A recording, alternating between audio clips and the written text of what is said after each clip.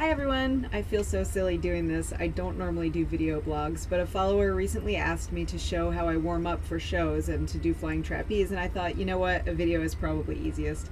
Um, so today what I'm going to show you is the different exercises I do with bungees to warm up my shoulder joints. Um, what I do is I tie my bungee, I take the length of it and tie it in half with a little loop, and I put it on the outside of my door handle, and then when I pull my door shut, my bungee is nice and tight against it. I wrap it around my hands and the first thing I do is just pull it back and down like I'm pushing with ski poles. And I don't really count how many I do, I just kind of do it till it burns, although I don't know, it's probably 10 or 20 repetitions. The next thing I do is above my head, I pull back the same way all the while listening to some sort of inspirational music that's going to get me going for our next show. You can see I'm not I'm not pulling super hard. I'm not straining myself too much. I'm just trying to warm up my muscles. I like this one. This Oh god.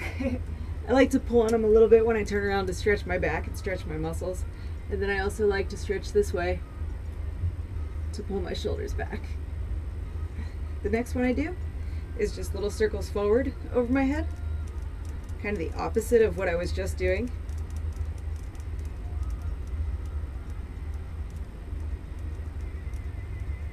And then after I do those, I take them out to the side as well. Remember when you're doing this that you're not really trying to build muscle or anything, you're just trying to warm up your muscles. So don't hurt yourself. Don't overdo it like us trapeze overachievers like to. It's really important to warm up triceps so I do these as well. I learned my lesson the hard way on this one. I had pulled a tricep muscle, and I also hurt my shoulder a little bit, and I asked my teammates, you know, what can I do to try to avoid this, and they showed me some new exercises to do. This was one of them, and another one was just to put your shoulders, your elbows out to the side and do it like this to warm up your rotator cuffs. So try to do at least 10 or 15 of these.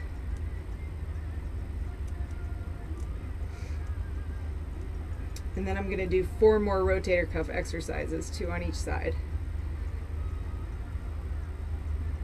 Okay, so next I take just one bungee and just pull it, keep my elbow in and pull it this way. Now, I recommend if you're going to start any new exercises, you talk with someone who knows what they're doing to make sure that your body position is correct. I'm certainly not a personal trainer anything like that. I just know what works for me. So now I'm going to do the same thing on the other side.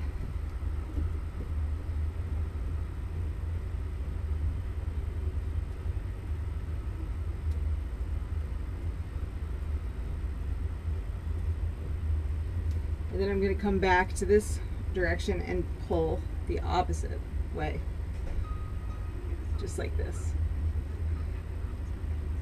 Now these are not the only warm-up exercises I do. I also hang on the bar. Um, we have a bar backstage that we hang on and I just do little circles with my legs to hang to uh, loosen up my shoulders.